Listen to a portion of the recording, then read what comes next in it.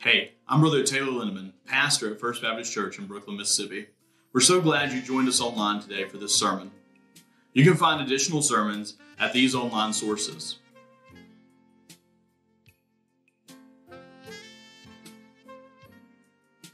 I hope that the sermon today speaks to you, and we pray that God will move through it.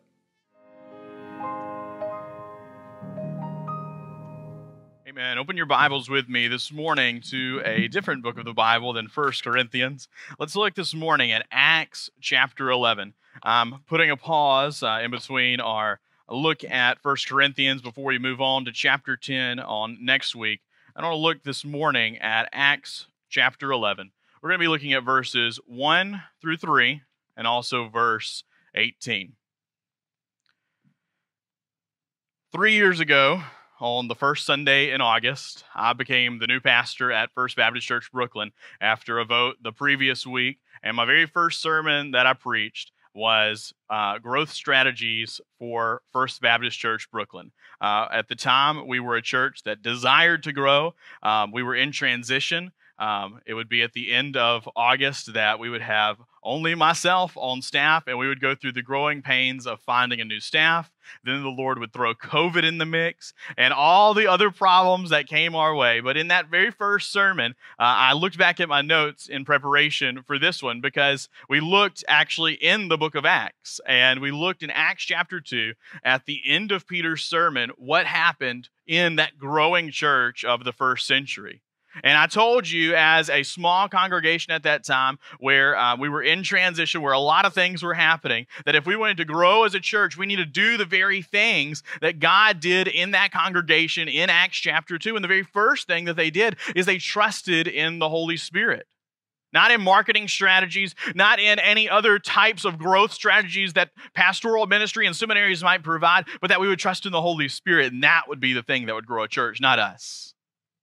And then we looked and we saw that after Pentecost, it tells us that the new believers in the early church, they spent time desirous in the Word of God. They committed themselves to preaching, to teaching, to the Lord's Supper, to baptism. They committed themselves to doing what we're doing here. And I challenged you to have a thirst and a hunger for God's Word. And I am happy this morning, not to brag because it's not me. Again, it is the Holy Spirit and it's also not me, but it's the unity of working hands here in this congregation. But parting, part of being desirous for the Word of God is to desire what we're doing right now, gathering together and looking at it. And I'm happy to say that three years later, I can absolutely say we have been desirous for the Word of God because I don't always count. Somebody usually does it for me. But did you know that on Sunday evening, just a few weeks ago, we had almost 70 in this room, which was at the time of August 2019 more than we had in the congregation on Sunday morning. We had that on Sunday nights because we're hungering and thirsting to know more about the Lord, because we want to dive deep into the scriptures. I am happy that we are a church who is still doing three years later what I've called and challenged us to do and what God's word has challenged us to do in that regard. And finally, the last thing I challenged you with three years ago is to have unity across this church, to reach across the aisle, to know one another, to repair broken relationships. And I think it is a sign of all of these things that as I preached three years ago, that I want to see, and I know you want to see, and I know the Lord wants to bless us with growth. Now I can say, Hallelujah, Amen. We're a church that's growing. And it shows in our Sunday school that has more in attendance on the past three Sundays than we have in enrollment for the entire church year. It shows in that these pews are filled up more than ever before. It shows in that all of these visitors who are coming, uh, sometimes I look out and I wonder if there's more visitors out there than our church members. It's a good sign. It's a good sign when people are walking down the aisle, when I have stood there before and Kyle has conducted before and we sang three verses and not a person walked. And it would happen like that for months and months and months. And I remember in 2019, as I was on fire, I remember I asked Debbie to play a strange, strange song at offertory because we didn't have any any Kyle to guide us. And and Debbie, she's she's she's for it. I said, Debbie at offertory, let's put on a church on fire. And it was this crazy song. It was it was all up and up and I was excited. And the guy and God tempered me, tempered me. He said, you know, all your staff's to leave. COVID's going to come. And now is the time. Now is the time of growth that God is blessing what we've wanted to happen for so long. But with all of that growth comes something that we didn't foresee. It comes, and this is the title of the sermon this morning is it's the problems of a growing church. It's as Brother Kyle put it the other day when we were talking about the very problems that we have as a growing church. It's growing pains. And so this morning, I want to kind of, it's an extension of a sermon from three years ago. That when I look back, and it's so timely that it's today, the first Sunday of August, three years later, that I look back over what God's done and I say, wow, God has done so much in our church, and He's not done yet.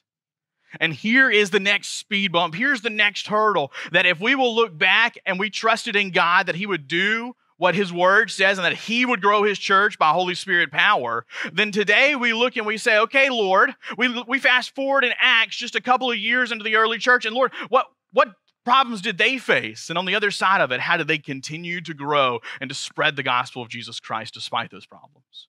Let's stand together in the honor of reading God's word as we look at some of the problems in the early church. Acts chapter 11, this morning we're looking at verses 1 through 3 and then verse 18. Hear now the words of the living and true God. And the apostles and brethren that were in Judea heard that the Gentiles had also received the word of God. And when Peter was come up to Jerusalem, they that were of the circumcision contended with him, saying, Thou wentest in to men uncircumcised, and didst eat with them. Verse 18 When they heard these things, they held their peace and glorified God, saying, Then hath God also to the Gentiles granted repentance unto life. Let us pray. Father, we come to you, a congregation that is so thankful for what you're doing in our lives, in our church, and in our broader community. And Lord, we thank you that as your word, eh, we have trusted in it we see and we have testified even this morning of your goodness over all of us. Lord, I pray that as we, we, we challenge ourselves to continue steadfastly in faithfulness and in following your word, Lord, I pray that all of these challenges that are popping up before us, Lord, that this morning we might see another strategy in which to intervene to squash the devil and to continue forward in gospel ministry, not for our glory, not for man's glory, but for your glory. Lord, I pray this morning that as we search your scriptures, that all ears would be attentive, that you'd speak to us, yes, both from my mouth, but mostly from your word. Lord, I pray that you'd be here and active as we meet this morning. And I ask all of these things in your son Jesus' name. Amen. And you may have a seat. I think the first thing as we look at verse 1 this morning is we've got to praise God for what he's doing. You know, there there are big problems that we're we're facing in this church. I don't I don't know if you've been back to Sunday school lately, um, but we're running out of Sunday school classrooms. Uh, I think there's a bigger problem that every single one of us can notice is every time we come in here and we smell that delicious fried chicken that our chicken missionaries have gone to pick up. Hey, Don, you know what? It's so packed in there. It's so loud. It, it's about getting like we need another fellowship hall. There's so many people going there to eat that chicken. It, that's a good sign. But hey, there's there's all these different structural issues we face as we look out over the numbers in our congregation, and it's easy to say that's a that's a problem. We need to fix this. These these are issues. But we need to take a step back in all of this. And I think this is the first thing we do, guys, is we say, praise God that we don't have enough room in our fellowship hall. Praise God it's loud in there. Praise God that when I walk into Sunday school, there is 15 people gathered around a table. I, I went and I took two kids I was doing baptismal counseling with during Sunday school, and we finished early, so I took them to Anthony's class. Anthony had three kids sitting on the floor. They were gentlemen. The boys um, decided they wanted the girls to sit down, and I bring two more in there. I'm like, Lord, they're going to hang them from the ceiling in here. So we went we found chairs and we put chairs in Anthony's room because there's so many people in the fourth through sixth grade class that there's not enough room around the table. Hallelujah. That's good. Amen. But it's a problem. But all these problems we first have to look at and we have to say, as we already have, praise God. Let's look at Acts chapter 11, beginning in verse 1. And the apostles and the brethren that were in Judea heard that the Gentiles had also received the word of God. Amen and hallelujah. The Gentiles, those people who were outside of God's covenant throughout the Old Testament, those people who were heathen and lived lives that were sinful. And when we look at it in First Corinthians, we see many of the problems that they faced and many of the grave sins that they had. And praise God, they have come to know the Lord Jesus Christ. This is good stuff. And I wonder in our own church, maybe you have been the negative Nancy who said, Whew, I see fans going, it's a little hot in here. That's part of it, y'all. All, all these people, they sucking up the cold air. It's, it's part of it. It's July. I wonder, have we gone in here and said, whew, it's loud in there. That's part of it. God's blessing us. I wonder when we go in the back and we sit in those cramped Sunday school rooms. Whew, I just, I don't know if I'm going to come to Sunday school next week. There's just too many people in here. No, praise God. I wonder have we been negative or have we been praising God in all of these things? Because I remember, as I've already said, a time where I pleaded with God that we would have people walk these aisles. I pleaded with God that we would dust off the spider webs in the baptistry. I pleaded with God that we would have, because there was a time when there was just a handful of people and there wasn't no fellowship lunch. It was just a, a dinner. And I remember one time we had two pieces of fried chicken and some peas in there. Hallelujah. I'm glad we can eat. I'm glad we can gather together in fellowship.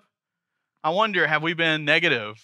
Or we have we noticed that in all the problems we're facing, it is part of God's blessing. The devil says, Look at all the bad. God says, Look at all I've blessed you with. Are we noticing the good? Or are we noticing the bad? Because while we praise God in times where things are growing, there's also some problems that come with it. And you might have recognized as we read through that the problem even exists in verse 1. It, it, it, leads us into it that the church is growing, but it's Gentiles. It's not good, not in their eyes. Look with me at verses 2 and 3. The problem comes, and when Peter was come to Jerusalem, they that were of the circumcision contended with him, saying, Thou wentest in to men uncircumcised, and didst eat with them. God has sent growth to the church, but it's not in the way in which the church would have wanted. In youth group, this is what me and Clay call cliques. I've preached it, he's preached it, both when we had our own youth. It exists in every single youth group because you've got the older kids and you've got the younger kids. You've got the preppy kids and you've got the nerdy kids and you've got the athletes and you've got the band geeks. You've got all of the ones in between. Yeah, I'm a band geek. I'm going to say it. I'm going to say it, Clay. You've got all in between. And they click up together, and it's a problem in your youth group because then somebody walks in who's a high schooler and you have a middle school youth group, and they click up, and the high schooler, he don't want to hang out with them kids. And you walk into the youth group, and you've got a lot of athletes, but you've got the one person who's standing on the sideline who's like me, and the only athletic thing that I ever did is I played T ball. I was in the second outfield, and I swatted flies from my face. I hope a ball didn't come my way because it was going to get me because I was more worried about the flies flying around than I was about the pop up balls that were flying around. They click up. But one thing we haven't noticed, and I've noticed it in elementary school, and I've noticed it being a senior adult pastor, or not a senior adult pastor. Some of y'all are senior, I'm a senior adult pastor to you. A senior pastor is cliques exists from preschool all the way to our senior adult ministry. Cliques exist in the church. And praise God, we've got people coming, but I don't want to be part of that. They're not like me. I don't know them. You know, I've talked a lot, y'all, about it's almost every sermon I talk about people coming down this aisle. And I say, you, you probably know what I'm about to say next. People walk down the aisle and they pray to accept Jesus and they get dunked, and that's all there is to it. They don't go any further than that. I've said it, and people said, Amen. People need to get serious about their faith. But you know, here's one I haven't done before. People get saved, people get dunked. We scream hallelujah, but then it doesn't go further than a right hand of Christian fellowship. It doesn't go further than victory in Jesus. It doesn't go further than a hug around the neck. there's people in our congregation, and I'm not picking on y'all because some of y'all have come up to me and you're going to think, oh, is he talking about me? There's people who, who have had people who sit right in front of them, two rows in front of them, two rows behind them, to the side of them. And they'll come up to me three weeks later and they'll say, Brother Taylor, who was that with the hair, with the dress? Oh, she's, she just dresses real pretty. Who was that that sits in front of me? What? The, the preacher has to know, but you don't have to know. You, you, don't, you don't know who it is? Why, why, why is it not going further than the right hand of Christian fellowship? Why is it not going further than looking around and saying, wow, there sure are a lot of people in here? Why is it not going further than that? The speed bump is we've got to know one another. We, we, we've got to understand one another. We have to disciple one another and teach one another. We have to bond in unity. It's the same thing I preached three years ago. It's just different now. You want to know one another? You, you, you want to you wanna know the people who don't look like you, who don't dress like you, who don't act like you, who might be a different age than you, who might do a different job than you. You want to know those people? Do more than just shake their hand when they join the church. Go up to the visitor. I'm sorry if I scare you, visitors, but this is a family church. We love one another. There's unity in this church, but we've got to break through some of the things that are stopping us. Go up to the visitor and say, I'm so glad you visited with us today. I would love for you to join me sometime for, for dinner, for lunch. I don't know about you, but um, some of y'all retired. You, you got a little bit of time for a lunch date. You've got time for a phone call. You, you, have got time to reach across the aisle. It's, it's, I've told you, it's not going to be me who brings them to the church house. It's my job once they get here. I'm going to go out in the community. I'm going to go evangelize. I'm going to go visit. I'm going to get these membership cards. Adrian's got them up. And if you know somebody who's not a, who's a member of our church and ain't here, we're about to get these uh, visitor cards. We're about to make some phone calls. Where you at? This is your church. Come on. We're an aggressive church, folks. But it's going to be you who makes the connections. It's going to be you who draws them into the church. Because of the people who have come and visited in our congregation, most of these visitors who you're looking at, they're not mine. They're not Miss Brother. I'm about to call myself Mr. Lindemann. Brother Taylor didn't go out and find them and say, "You should come." Our pastor, he's just young and on fire. You just need to come listen to him. That wasn't me. That was Mary Ida at her academy. That was you at your workplace.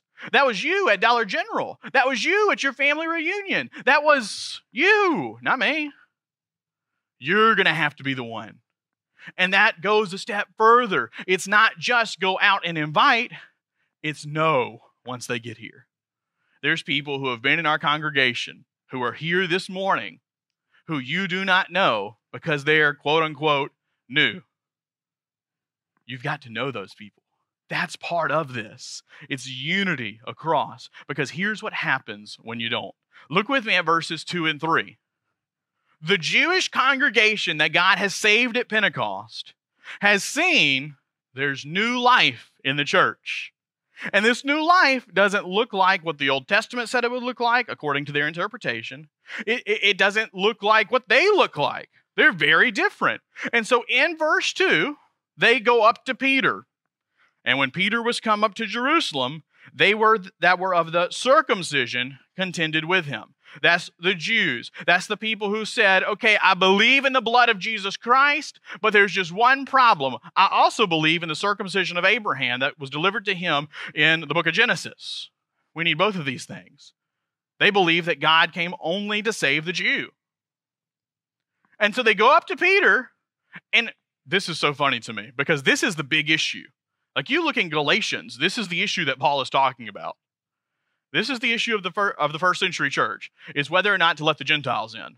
That is as silly sometimes as whether or not to let, to change the carpet color, whether or not to do all these silly things that we fuss about. They're fussing about it in the first century as well.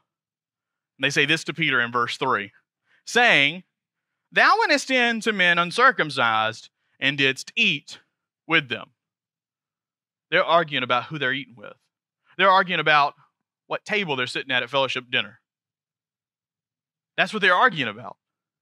They're arguing about going up to people who look different from them, who are not like them, who, well, God might have saved them or, or might be willing to save them, but they got to do some other stuff first. I'm so glad they walk, but they don't have any business walking because they don't look like me. They haven't been in church as long as I have. That's our mindset sometimes. And while we stop and we praise God for what He's doing, we also need to recognize that the people that God is sending, they're not necessarily going to fit in straight away. They're not necessarily going to look like us straight away. They're not necessarily going to click with every single individual in the congregation straight away. But here is the difference God needed to use the Gentiles because the Jewish people of the day were not getting the job done as he needed them done. He needed them to reach the entire known world. So he took people who looked radically different from the Pharisaic Jews and he saved them in order that he could reach the nations. And the reality is, folks, that God, every person He brings us, He's bringing them for a reason. I remember three years ago when I picked up where Brother Kyle Jones left off and started teaching Experiencing God, we were towards the end of the book, and one of the only lessons that I taught, the lesson was God has a plan of who is going to walk through that door. He knows the needs of this church, and He's going to send people to fill those needs. And I remember very clearly preaching that lesson and saying, "Phew, we need an AV person. We need somebody to run the AV around here. We, we need, we need, we need that sturdy." And guess who he sent through the back door? Kenneth McCardle. And Kenneth McCardle didn't just fill the need that we needed. He installed the screens and the TV in the back, and he did the whole AV room over again. And he put the TV in here and there and yonder. He did so much more than what we even God knew. We're about to grow. But first, I'm going to send the man to pave the way. God has sent every single visitor who's in our midst this morning and who's ever walked through these doors because he has a plan for their use right here, right now. He doesn't send us to warm pews. He sends us to do the job that nobody else can fill in. He fills them, he sends them to, to fill in for, for Wednesday night kids, to fill in for Sunday school teachers in the back. They might not look like us, though. They might not have been in this church for 10 years. They might not know the ins and outs of our Constitution or the way that we do things. They might not know, but God is sending them here, even in that ignorance, that we might use them for His glory, that we might bind together in unity across this congregation and know that we need every single person who's here for the task at hand. If we're going to grow, we're going to have more Sunday school classes, we're going to need more Sunday school teachers. If we're, if we're going to grow, then we're going to need to know all the names. We're going to need greeters out on the front porch. If we're going to grow, we've got to have all the things in place that is necessary to accomplish the task at hand. God has sent you for a purpose such as this. And, church, while they might not look like us, we've got to recognize how valuable of an asset that they are. That God has sent them here for a time such as this. We need them on our side. We need them to be used by God in the same way that He's using you. Oh, it feels good when God uses us. But the reality is, the work piles up really quick when we're going out to a lost world around us. We need all on board. And how are we going to do that? We're going to have to go to them and say, I'm so glad you visited. Here are the needs of our church. I, I would love for your child to do this, that, and the other. We have to go to them. We have to share with them how things are done, how this church operates. That way, we can accomplish the kingdom goal together. God has sent them for a time such as this, and we have to use them. And what happens when we do, when we actually do follow through with all of these things, we're going to have the same type of growth that we preached about three years ago. We're going to have people who are going to further their walk with the Lord in discipleship. We're going to have people make life changing decisions, and we're going to get the pleasure of seeing them walk this aisle and be dunked in this baptistry. And what's going to happen at the end of all of that is we're going to have to recognize what he's doing. Look with me at verse 18 as we finish up this morning. When they heard these things, they held their peace and glorified God, saying, Then hath God also to the Gentiles granted repentance unto life. I remember one of the last times that I saw my grandmother because it was right before COVID. And after COVID, uh, unfortunately, the only time I got to see her is I got to peek through the window at the nursing home because they were on super duper lockdown. But I remember one of the last times we got to bust her out. She wanted to go and she wanted to find I, I'm telling you, it had to have been my great great great grandfather's burial plot. He, she wanted to go graveyard hunting. And so I load my grandmother up, who can't even walk anymore. And so she can get out of the wheelchair and get into the car. I pile, I, it's the Prius. I'm in a Prius with my grandmother, my wife, and an entire wheelchair. I mean, the wheelchair is on top of my 80 whatever year old grandmother. And we're going graveyard hunting. And I should have known but I didn't. I didn't think about it. That she would have no clue where any of these cemeteries are. Put that in your wristwatch. That's what she called the phone because she had never held a cell phone in her entire life. Put in your wristwatch where such and such cemetery is. Um, uh, it's kind of like these Brooklyn cemeteries. You know, you just drive five miles down Pierce Road, and then there's going to be a, a, spot in the trees where the tree line breaks. Turn left immediately. You know, th- that's not on Google. And so here we are just driving through, and literally, if you've been to Meridian, you know, we're in the middle of Whynot Yes, why not Mississippi? Why not go to Why Not? Because your cell service will go out. That's why not. And so here we are in Why Not Mississippi driving around looking for the tree line to break. And she says, pull over and ask somebody where the cemetery is. She wants me to pull over and get out and knock on random doors until we find a cemetery that's buried in the woods. They're not going to know, and I might get shot. This is Meridian. And so we're driving around, and finally, I'm up to my wits' end. She's getting mad. We can't find the cemetery, so we go to the old folks' place, the checkerboard restaurant. Uh, maybe, maybe y'all know the checkerboard restaurant, maybe not. And we go in, and we're waiting for our table, and she's just fussing. All I want to do is find the cemetery. Da, da, da, she's just chewing my head off, and I, I leveled with her. I said, "Memo, I did not come today to find cemeteries. I, I know that's the purpose, that's the plan, that's the reason that you got out." But the reason I came today is to spend the day with my memo. Because I don't know if I'm going to see you ever again. I don't know when the Lord's going to take you on home. I came today not to see and trek through the woods. And by the way, y'all, um, how is she going to trek through the woods in a wheelchair? How we go, how are we going to get way deep in the woods? Uh, anyway, that's not here, there, yonder. I came to see you. That's the express purpose for what I'm doing this for. And finally, she understood. She recognized that the whole purpose of all of this was not to go and see the cemeteries, but to see me. We had a great lunch after that. Why do I tell you that story? Because some of us need to wake up and recognize if we're growing this church that looks more like you and me, we're doing it wrong. If we're if we're growing this church so that my buddies can get together and we we we can have church, but not anybody else, if we're getting together so that we can look out and say, see what I did, we're doing it wrong.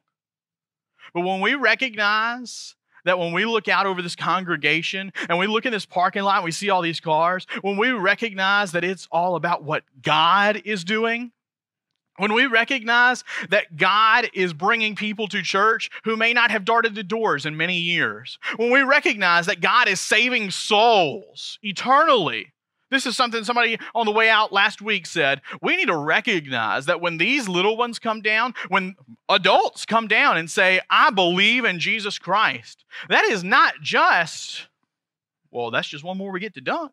That is a soul saved from hellfire. We've got to recognize that the gospel is being lived out right before our eyes. This is not just a church that's growing, but this is a church that is recognizing that because God has stepped down from heaven, because God has given his life on Calvary for you and for me, because God has saved sinners, we are getting to look out and see the blessing of God over all of our lives. This is what it's all about. We've got to recognize what God's doing. And in our text this morning in Acts 11, verse 18, from verse 4 all the way to verse 17, we see Peter explaining what God has been doing in the Gentiles. That they may not look like you, but God has saved them. He has snatched their soul from hell. And at the end, verse 18, when they heard, who is that? The people of the circumcision, the Jews.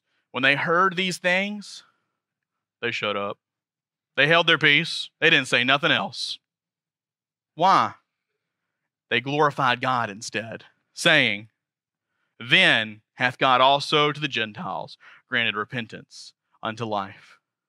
This morning, if I could tell you one last thing about the people in this room, is that there's people in this room who were just like you at one time, who didn't know the Lord, who didn't know Him at all, who were actively running from Him. God has done, is doing the same thing in their life that He did in yours. That while at one point you were a sinner in need of a, of a pastor's sermon that was directed at you, there's people in here who need that, who are in that part of their spiritual walk. That there's people in this room who once were where you are. That they hadn't been to church in a very long time. They need to be welcomed in just as you were welcomed into our congregation. And there's people in this church who are on fire and ready to do whatever it takes to reach this church, to reach this community, and to reach the world for God. And they need you to help them, to train them, to disciple them, to equip them, and to send them out to do whatever it is that God has called them here for. As a church, we've got to recognize there's people who are where we used to be. Let's help them get where we are and way further than that. That they might know God, know Him intently, and accomplish way more than we've ever seen before. My prayer is not that this church would do well under my leadership or in my generation, but that for generations and generations and generations, this church would grow to be a lighthouse in this community that affects every person in its vicinity. And this morning, my invitation to you is maybe to look out and to say, who is that person who I need to, to be united with, to know better? Maybe this morning for a visitor, it's to recognize that this is a church that wants to train you up, that wants to know you, that wants to equip you. And maybe this morning, for a person in the room who has strayed from God, maybe this morning your invitation is a rededication or to be a part of this great call to follow a God who sees us all where we are, loves us, and beckons us to follow him. Would you stand with me as we sing this hymn of invitation, Just As I Am?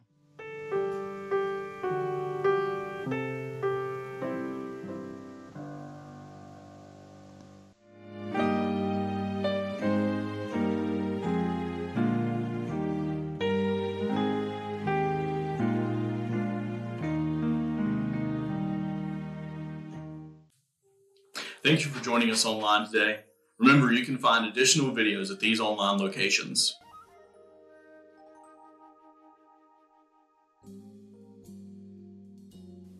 If you would like to give, you can mail your offering to First Baptist Church Brooklyn at P.O. Box 340 in Brooklyn, Mississippi 39425. If you would like to talk to someone, you can call our church number or you can visit us for one of our in person worship times. We hope to see you soon.